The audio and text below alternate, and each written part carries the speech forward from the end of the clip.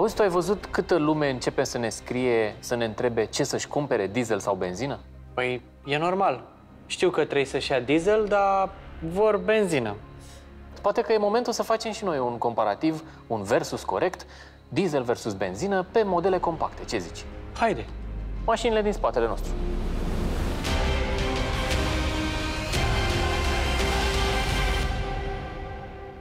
Bun, am plecat la tururi de condus economic.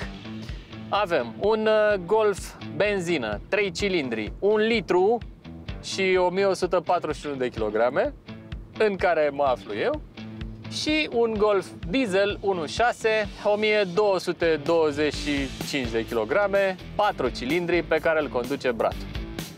Când vreodată ai putea să crezi că un motor pe benzină Volkswagen, fie el și Eco, în 3 cilindri de generație nouă, consumă mai puțin decât probabil cele mai economice motoare din istoria omenirii. TDI 1.6. Niciodată.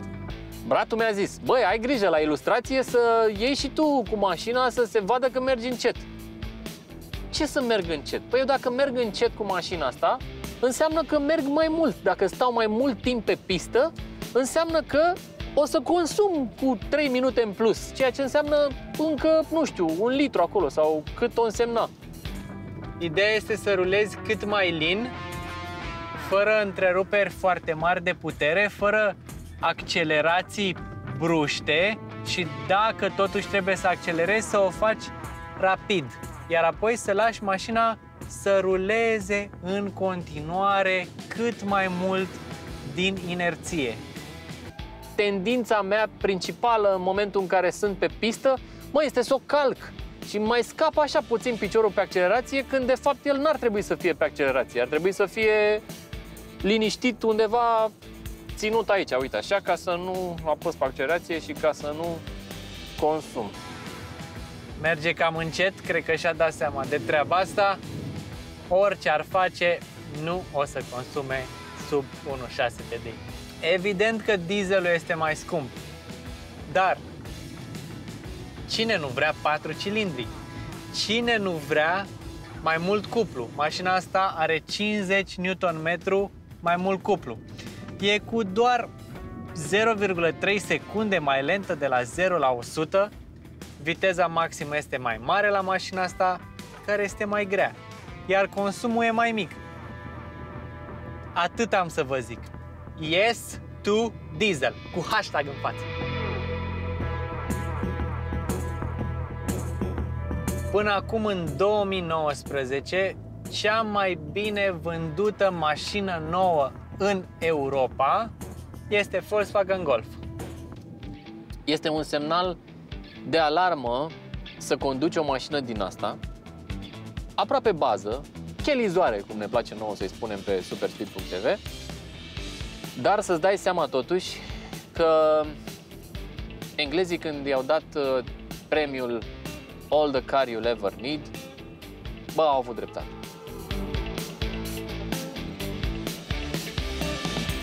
Fiecare din noi încearcă acum să conducă într-un mod cât mai eficient, așa, pe stilul propriu. Dar cred că în adâncul sufletului lui și în mintea lui știe că niciun motor pe benzină de la Volkswagen nu poate să bată vreodată 1.6 TDI la consum. În consumul declarat de producător, motorul ăsta benzină 3 cilindri, 1 litru de la Volkswagen consumă cam cu jumătate de litru spre un litru mai mult decât dieselul cu care merge bratul. Dar ținând cont de faptul că el nu este un șofer foarte talentat, aș spera, aș spera că pot măcar să mă apropii de valoarea de consum pe care o va obține el aici pe pistă. Consumul mediu dat de Volkswagen este de 4,2 cu aproape 5 pentru oraș. Iar eu acum sunt la valoarea aia. aproape de. Atenție, atenție, nu mai sări de 2000 de rotații pe minut pentru că o să te bată bratul prea tare. Trebuie să vorbesc cu mine foarte des în acest uh, test pentru că altfel 50 la oră, dreapta patra, 36, 35.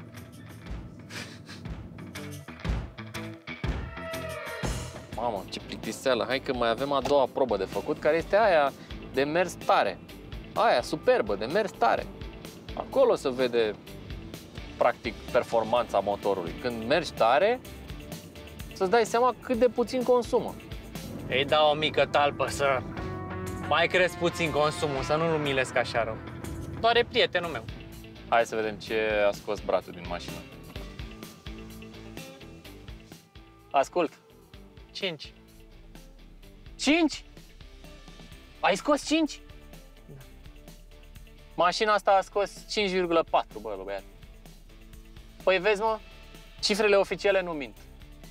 Motorașul ăsta a scos 5,4 litri la 100 de km parcurși, în regim economic, pe 20 de km.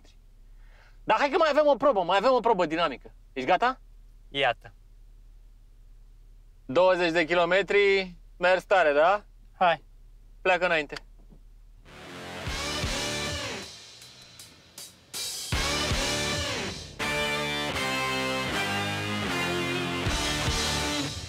A vrut să facem asta ca să arate cum merge el la piață, la mall și pe unde se mai duce. El trebuie să tragă de motorașul ăla în trei cilindri.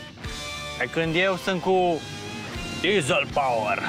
Fie și la cilindreie mică, tot diesel power se numește. Vă dați și voi seama că, practic, nu e nicio competiție între mine și bratul conducând tare pe pistă, nu? Pe de altă parte, recunosc că la condusul ăsta dinamic am și un avantaj, și anume că mașina lui Bratu e mai grea cu 85 de kg. Serios. Cam atât cântărește un cilindru în plus la motor, diesel versus uh, benzină. Vino să facem test de consum, a zis. Vino să vedem dacă un diesel consumă mai puțin decât o benzină modernă în 3 cilindri cu aceeași putere, a zis. Am făcut astea. Testul s-a terminat, am câștigat. Eh, hai să mergem și tare cu mașinile. Dacă tot se întâmplă să pierd catastrofal din punct de vedere consum acest versus, uh, măcar să mă distrez și să-l enervez pe bratul, nu? În afară de faptul că uh, îl enervez că stau în spatele lui, bratul mai e nervos și pentru că lui nu-i place să susțină un ritm din ăsta dinamic pe pistă foarte mult timp. Îl enervează pur și simplu. Ia uite, și aici aș fi putut să-l depășesc pe bratul. Dar nu o fac, pentru că mai am niște tururi de dat. Treapta a treia este atât de lungă încât dacă mă străduiesc puțin, o păstrez pe tot circuitul de la Titi Aur.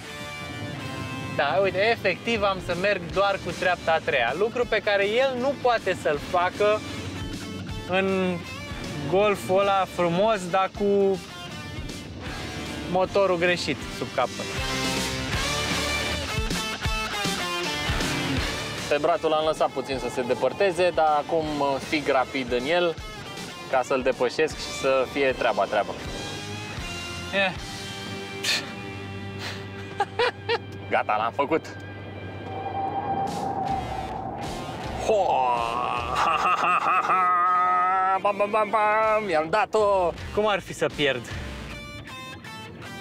Să consume mai mult dieselul decât benzina aia. La mers sportiv. cum ar fi?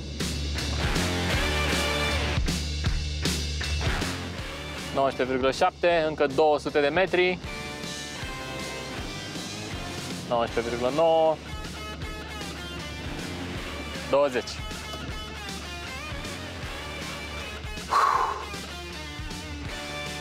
Acum e acum.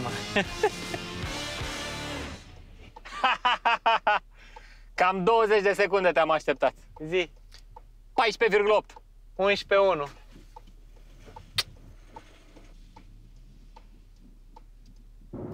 Morala, nu conduceți ca Giurgia. Mergeți la piață ca Tudor Bratu. Simplu.